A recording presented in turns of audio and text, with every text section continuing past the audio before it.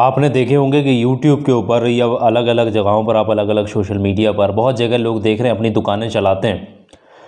मोहब्बत के ऐसे ऐसे अमलियात पेश करते हैं, मोहब्बत के वजीफ़े डालते हैं, मोहब्बत के नक्श बना करके देते हैं, मोहब्बत के तावीज़ लिख कर के देते हैं। लेकिन फिर भी कोई फ़ायदा हो नहीं पाता। हो गया किसी को फ़ायदा, हो गया, वरना ज़्यादातर यही आता है कि भाई हमें फ़ायदा नहीं हो रहा है। लेकिन आज की इस वीडियो में जो चीज़ मैं बताऊँगा आप लोगों को, जो अमल मैं आप लोगों को बताऊँगा, ये रूहानी ऐसी ताकत से भरपूर अमल है। आप सारे नक्शों को, सारे तावीज़ों को एक तरफ़ रख देना। ये रूहानी अमल इतना ताकत समेटता है अपने अंदर, जो सिर्फ़ आप लोग समझिएगा, एक रात के अंदर विद इन वन नाइट अपना पूरा का पूरा काम पूरा कर देता है। एक रात के अंदर। तो फिर ये जो अमल है ना तो सबसे ज़्यादा कामयाब अमल है। इसे, इस अमल को ऑल इन वन भी कहा जाता है। अमल ऑल इन वन भी कहा जाता है। ये सिर्फ़ मोहब्बत के हवाले से ही काम नहीं आता है। महबूब को अगर आप पाना चाहते हैं वाकई में, परेशान हैं, कोई रास्ता आपको नज़र नहीं आ रहा। तो शक्ल में ये अमल काम करेगा। दूसरी चीज़, ये अमल की कुछ ज़रूरी शर्तें हैं और ये अमल सिर्फ़ मोहब्बत में ही नहीं, बल्कि अलग अलग दीगर मसलों में भी काम आता है। तो ये बात आपको समझ में आ गई। अब मैं कुछ ज़रूरी चीज़ें बता दूँ। सबसे पहली चीज़, इस वीडियो के कमेंट्स हमने जो हैं, कमेंट्स जो है, ध्यान समझ लें, वो हमने क्लोज़ कर दिए, बंद कर दिए। कमेंट्स इसलिए बंद कर दिए हैं क्योंकि भाई वीडियो हमारी बड़ी होगी, तफसील होगी, डिटेल होगी। हर बंदा जो भी इस वीडियो को देख ले, उसको सवाल करने की ज़रूरत ही नहीं पड़ेगी। डायरेक्ट अमल करे, सीधा अमल करे और कामयाबी उठाए। कोई सवाल कहीं पर कमेंट है, कहीं कुछ करने की ज़रूरत नहीं। इसलिए कमेंटों को बंद किया गया। और कमेंट बंद करने का दूसरा बड़ा रीज़न ये है कि बहुत सारे नकली, जाली, फ्रॉड, ढोंगी लोग जो पैसा लूटते हैं कमेंटों में नम, जा जाकर अपने नंबर छोड़ते हैं कि हमारे गुरुजी से संपर्क कर लो हमारे बाबा जी से संपर्क कर लो हमारे तांत्रिक जी से नजूमी जी से। ये ऐसे बहुत सारे आते हैं। उन तमाम को एक साइड में उठा करके फेंक दिया कमेंटों को ही बंद कर दिया। तो याद रखिएगा वीडियो को आपने समझना है अच्छे तरीके से। अमल की एक और ज़रूरी बड़ी शर्त यह होगी कि ये अमल जो है फ्राइडे नाइट। जुमे की रात में ही किया जाएगा। अब ये जुमे की रात लोगों को यहाँ कन्फ्यूज़न होगा कि जुमे की रात क्या है, जुमे की कौन सी रात होती है। जैसे कि आज थर्सडे है। थर्सडे का पूरा दिन गुजर गया। दिन के बारह बज गए, एक, दो, तीन, चार, पाँच छः सात बज गए इस तरीके से। अब शाम हो गई, जुमेरात की शाम हो गई। अब ये जो रात आई है ना, ये जो अब रात शुरू हो रही है, जुमेरात का दिन पूरा होने के बाद रात शुरू हो रही है। ये कहलाएगी फ्राइडे नाइट जुमे की रात कहलाएगी। याद रखिएगा इस चीज़ को, क्योंकि इस्लामिक जो दिन है वो मगरब के वक्त में बदल जाता है। नया तारीख जो है वो मगरब के वक्त में बदलती है। तो जो जुमेरात के बाद रात आएगी, उस रात में ये अमल, यानी जुमे की रात में आपने ये अमल करना होगा। ये अमल सिर्फ़ एक मरतबा ही करना होता है बार बार अमल नहीं करना होता है।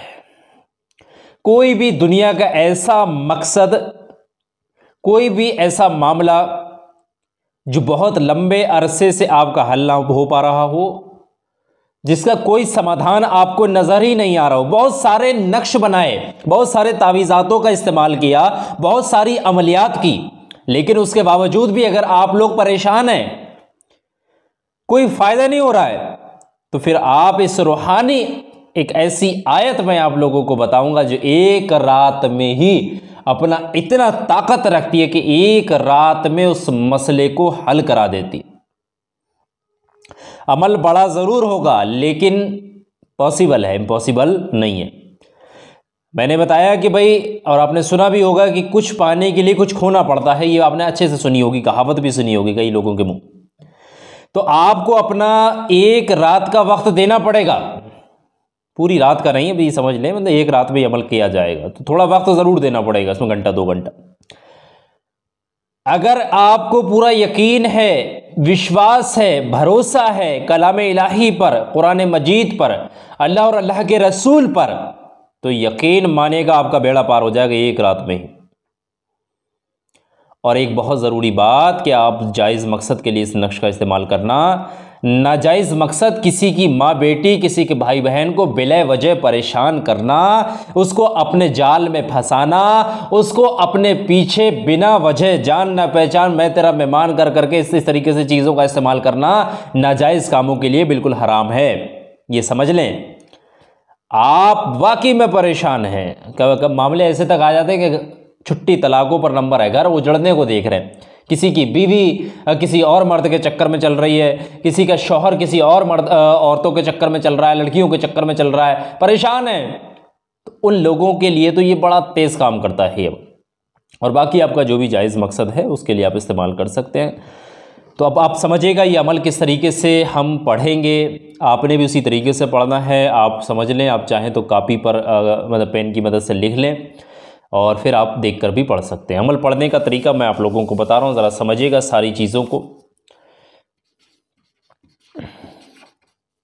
तरीका क्या है, वो अब हम आपको बता रहे हैं, यहाँ पर मेथड जो है पढ़ने का। पढ़ने का तरीका ये है कि आप ईशा की नमाज़ के बाद, ये समझें आप रात को दस बजे से लेकर नौ, दस बजे से समझें, दस बजे, ग्यारह बजे, बारह बजे, दस, ग्यारह बजे के टाइम पर आप अमल शुरू कर दें तो ज़्यादा बेहतर होगा। आपने एक आयत मुबारक का विरद करना आयत मुबारक जब पढ़ने बैठेंगे तो उससे पहले जो भी मकसद है, चाहे मोहब्बत का है या मोहब्बत के अलावा कोई और दीगर मसला है, किसी भी मसले का है, जो भी चीज़ है, उस मसले को दिल और दिमाग में रखना, अल्लाह से दुआ करना है। बस यही हाजत लेकर के बैठ जाना, या अल्लाह मैं ये अमल करूँगा, मैं ये अमल इस मकसद के लिए कर रहा हूँ, मैं ये कुरान अजीम की इस आयत मुबारक का विरद इस रात में बैठकर इसलिए कर रहा हूँ, फला मकसद के लिए कर रहा हूँ, या अल्लाह मुझे इस मकसद में कामयाबी दे। मेरे उन तमाम परेशानियों को दूर कर दे इस अमल की खैर बरकत से, इस अमल के सदक़े में, अपने प्यारे महबूब के सदक़े में इस मेरी तमाम परेशानियों को दूर कर दे। हाजत लेकर के बैठ जाना है, अमल पढ़िएगा, सब किस तरीके से पढ़ना है। अमल में जो आयत मुबारक है, वो मैं आप लोगों को यहाँ लिख कर बता दूँ, ताकि आप लोगों को क्लियर नज़र आप लोग लिख लें आप लोग। अब पढ़ना इस तरीके से होगा बिसमीम फिर उसके बाद पढ़ेंगे आयत करीमा।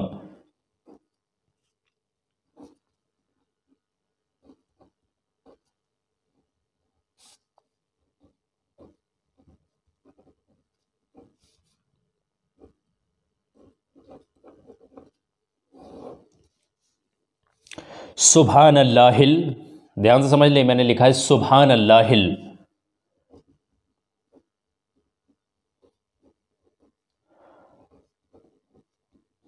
कादिरिल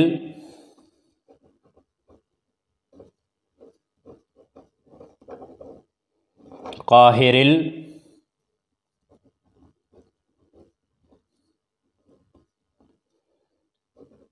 कवील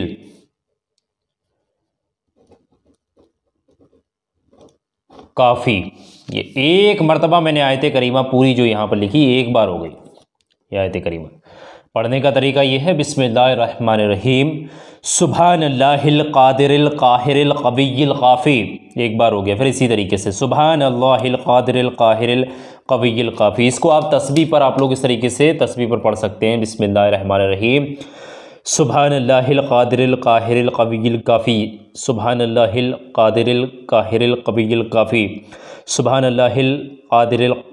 काफ़ी। इस तरीके से आप तस्वीर पर शुमार कर लें। ये आपने जो पढ़ना है, ये तादाद समझ, ये लिख लें आप लोग, चाहें तो आप भी लिख कर, देख करके रख लें इसको लिख कर, देख कर भी पढ़ सकते हैं, लिख कर रख लें। इसको आप जो पढ़ेंगे, पढ़ने की तादाद थोड़ी ज़्यादा रहती है। इसको पढ़ा जाता है एक ही रात में, यानी एक ही जलसे में बारह हज़ार मरतबा पढ़ना होता है। इसीलिए ये अपनी ताकत को और ज़्यादा बढ़ा लेती है आयत मुबारक, जब इतनी तादाद में पढ़ा जाता है इसको। अब बारह हज़ार मरतबा कोई ज़्यादा नहीं हुआ। ये समझिएगा, अगर हम इसको तस्बी की फॉर्म में डिवाइड कर लें तो तस्बी की अगर हम इसको देखें, हिसाब किताब इसका तो इसका आएगा 120 तस्वीरें 120 तस्वीरें सिर्फ़ आपने पढ़नी होंगी। एक तस्बी को अगर आपको पढ़ने में पाँच मिनट का वक्त लगेगा तो ये समझिएगा, अगर आपको पाँच मिनट का वक्त लग रहा है एक तस्बी को पढ़ने में तो फिर आपका आ जाएगा। यानी कि इस तरीके से समझ लें आप लोग ये मतलब रात भर में आप चाहें तो इसको कंप्लीट कर सकते हैं। ये समझ लें, रात भर में इसको पढ़ा जा सकता है। अगर आपकी नींद लग जाए तो फिर आराम कर लें, जैसे कि आपने छः हज़ार बार पढ़ा तो नींद लग गई तो फिर थोड़ा आराम कर लें, इसके बाद भी पढ़ सकते हैं। फजर के वक्त तक आप पढ़ लें, याद रखिए, फजर का वक्त भी अगर आप पढ़ नहीं पा रहे हैं तो दिन में भी आप इसको पढ़ सकते हैं। जैसे रात में किसी को दस हज़ार बार पढ़ लिया। तो दो हज़ार बार थोड़ा दिन में भी पढ़ा जा सकता है। लेकिन पढ़ना आपने एक ही बार में है। ऐसा नहीं कि आ, थोड़ा आज पढ़ लिया थोड़ा कल पढ़ेंगे थोड़ा परसों पढ़ेंगे ऐसा नहीं ये 120 तस्बियाँ आपने पढ़नी हैं और 120 तस्बियाँ जो भी शख्स पढ़ ले चाहे किसी भी मकसद के लिए यकीन मानेगा वो उसका मकसद एक ही बार में इन रबुल्ज़त ने चाहा तो आपका मकसद इस आयत करीमा की खैर बरकत से मदद से बरकत से वो पूरा हो जाएगा। बहुत ज़्यादा कामयाब चीज़ मैं बता रहा हूँ। मोहब्बतों के लिए परेशान मत होइए अलग अलग नक्शों को मत ढूंढते फिरिए अलग अलग चैनलों पर मत जाइए। हर कोई अपने तरीके से नए नए इंतज़ाम आपको देता रहेगा। लेकिन रूहानी, कुरानी चीज़ से अगर हम किसी काम को अपना अंजाम दें तो उससे बेहतर और उससे शीघ्र कुछ नहीं हो सकता। तो समझ में आ गई होगी आप लोगों को जो बात मैंने यहाँ समझाने की कोशिश की है। बहुत बहुत शुक्रिया। वीडियो को लाइक करके ज़रूर जाएँ अगर आपने यहाँ तक वीडियो देखा है। बहुत बहुत शुक्रिया आप तमाम लोगों का इस वीडियो को यहाँ तक यानी आखिर तक देखने, सुनने और समझने के लिए।